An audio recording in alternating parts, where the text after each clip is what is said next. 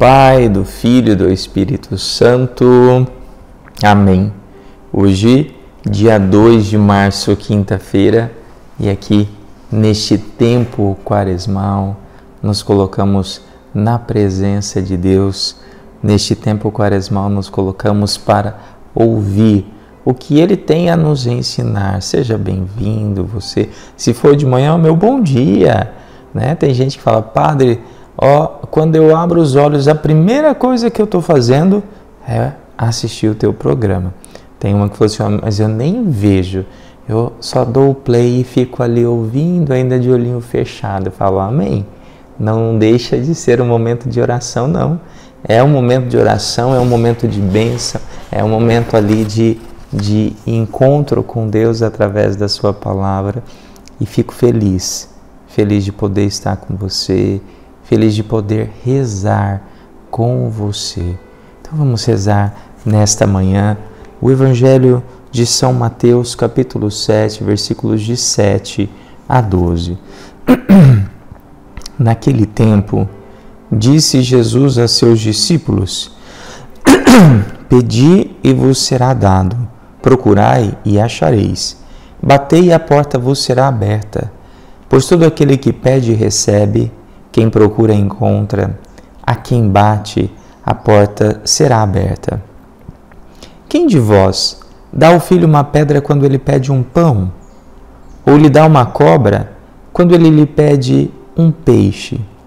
Ora, se vós que sois maus sabeis dar coisas boas a vossos filhos, quanto mais vosso Pai que está nos céus dará coisas boas aos que lhe pedirem tudo quanto quereis que os outros vos façam, fazei também a eles. Nisto consiste a lei e os profetas. Palavra da salvação, glória a vós, Senhor. Amados e amadas de Deus, Deus tem coisas boas a nos oferecer e vai nos oferecer a cada dia. A palavra é muito clara. Jesus Cristo, ele veio trazer, mostrar para nós o quanto nosso Deus é bom. Parece que a sua missão foi exatamente isso: mostrar, tirar um pouco daquela imagem desse Deus que é somente justo, né, e por ser né, um quase que justiceiro, para podermos olhar para um Deus que é bom, um Deus que é como um pai, né? Ele é pai. Ele ele dá coisas boas a, aos vossos filhos. E por isso ele fala, olha, um pai, ele dá, né, coisas ruins para os filhos quando ele lhes pede algo, dá uma pedra quando ele pede um pão, né? Dá uma uma cobra quando ele pede um peixe? Não. O pai e a mãe ali estão né, se esforçando. Lógico que, infelizmente, nós temos pais e pais. Talvez tenha alguém aqui que vai dizer: Ah, padre, mas meu pai nunca me deu nada. Né? Se não fosse a minha mãe, né?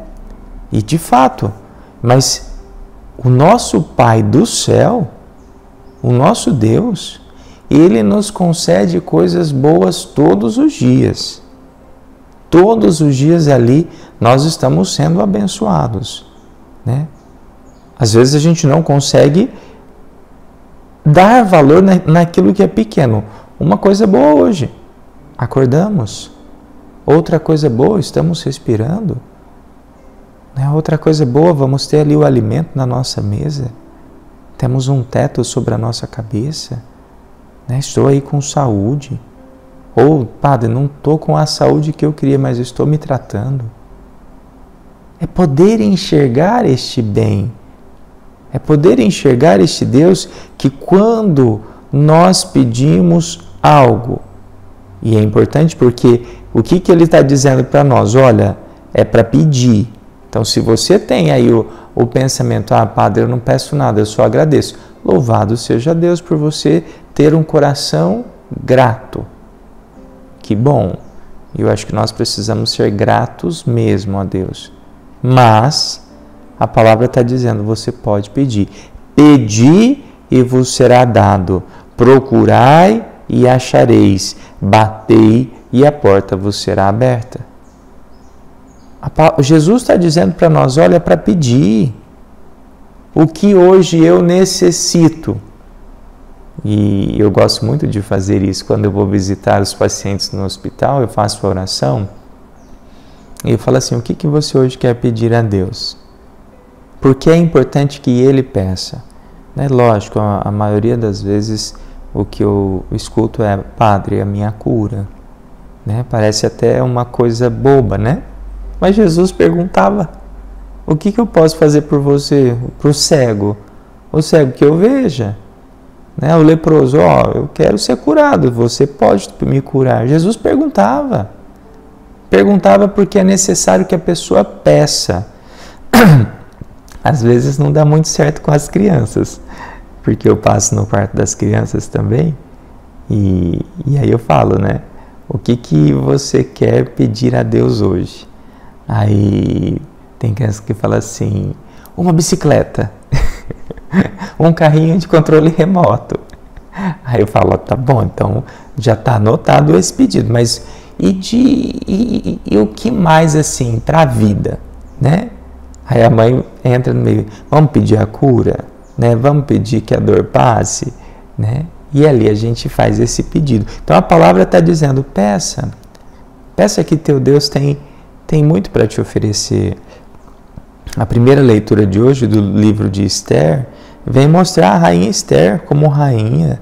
Ela se ajoelha, ela é, prostra-se por terra desde a manhã até ao anoitecer, em oração, né, pedindo a Deus que viesse em socorro do seu povo, pois eles estavam ali diante de, de uma pessoa muito má, de um opositor que vinha para destruir o seu povo.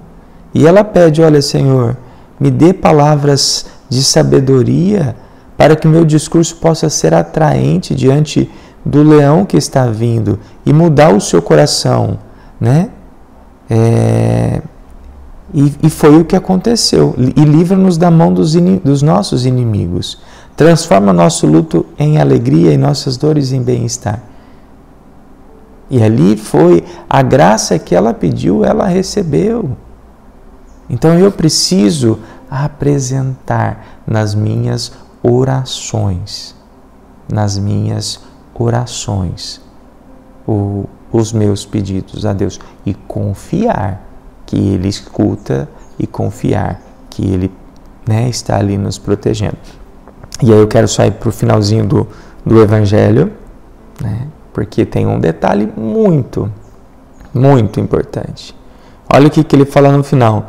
Tudo quando, quanto quereis que os outros vos façam, fazei também a eles.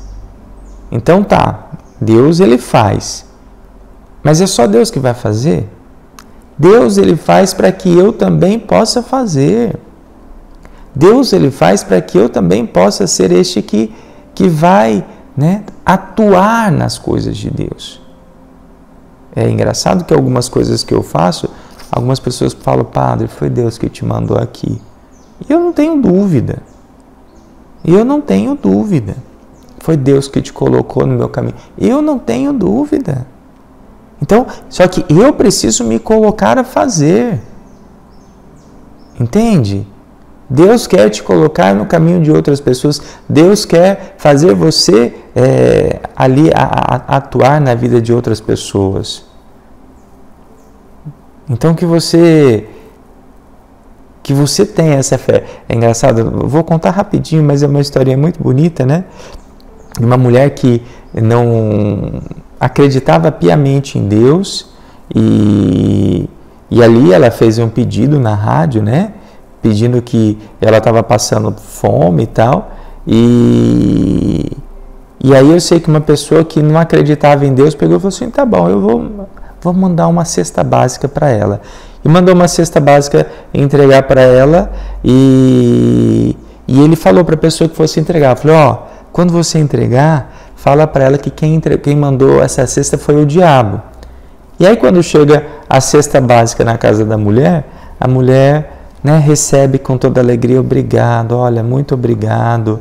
Aí o entregador, na hora que estava saindo, falou assim: Você não quer saber quem, quem te mandou essa cesta? Aí ela falou assim: Não, não precisa. Porque quando, é, quando Deus pede, até o diabo obedece. então, resumo da história. Né? Quando nós apresentamos com fé nossos pedidos, quando nós apresentamos com fé as nossas necessidades, Deus, Ele move né, o mundo, move pessoas para que o bem aconteça. E Ele quer mover também você, para que onde você estiver, o bem possa acontecer.